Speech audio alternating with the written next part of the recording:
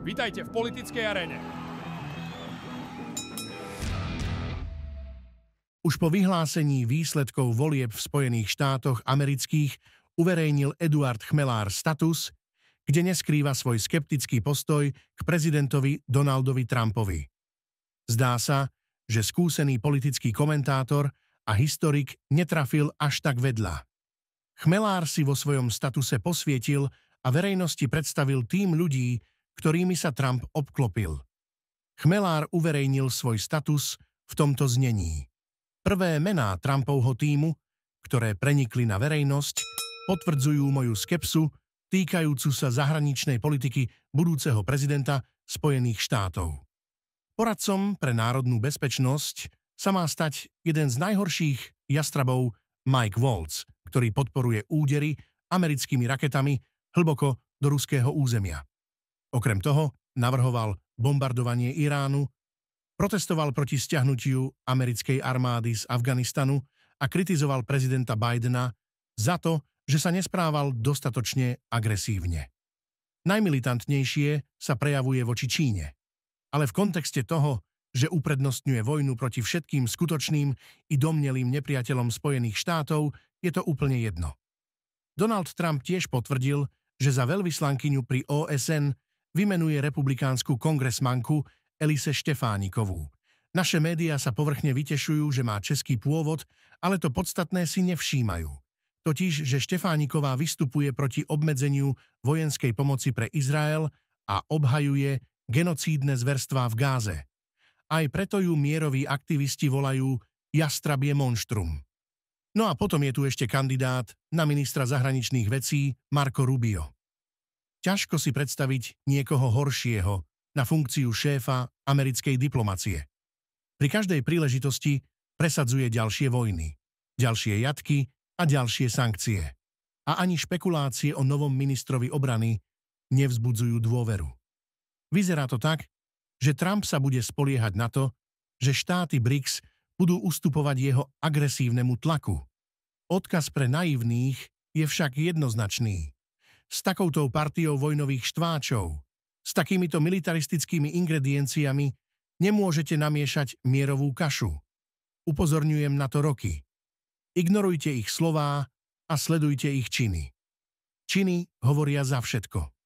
A slová o miery bez takýchto činov sú veľmi lacné. Nehovoriac o tom, že uctievači Trumpa nechcú pochopiť, že to, čím sme žili my, Američanov absolútne nezaujímalo, konkrétne vojna na Ukrajina vôbec nebola témou prezidentských volieb v USA.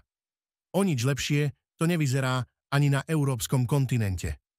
Historicky prvý kandidát na eurokomisára pre obranu a vesmír Andrius Kubilius pri svojom vypočúvaní v Európskom parlamente uviedol, že za svoje hlavné pole pôsobnosti považuje budovanie zbrojárskeho priemyslu a zbrojenie.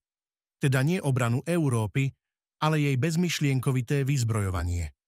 Na kritiku takýchto priorít cynicky odvetil, že ho pokojne môžu nazývať komisárom mieru. Možno by to tak bolo lepšie, veď kto by bol proti investíciám do mieru, spýtal sa sarkasticky. To najhoršie však ešte len prišlo, keď Kubilius blúznil, že keby všetky členské štáty NATO posielali Ukrajine zbrane v hodnote 0,25% svojho HDP, potom by Ukrajina dokázala zvíťaziť.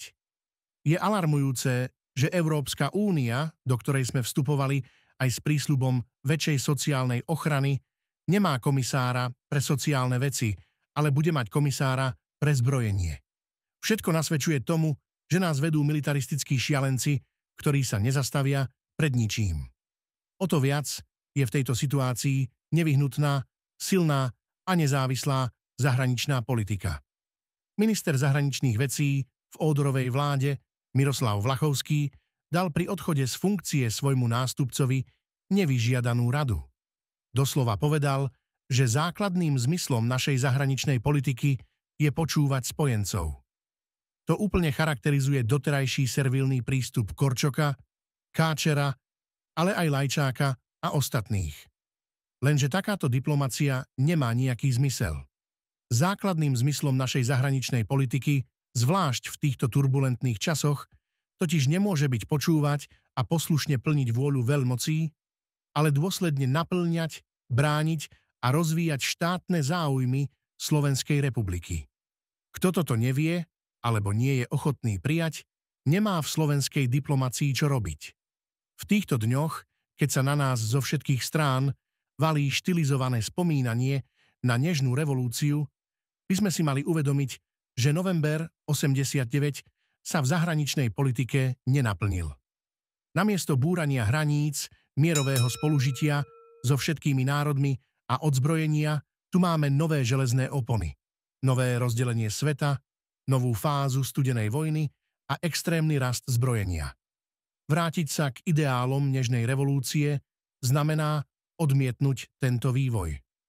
Lebo takýto svet sme si neželali. Pre viac politických konfrontácií dajte odber. Toto bola politická aréna.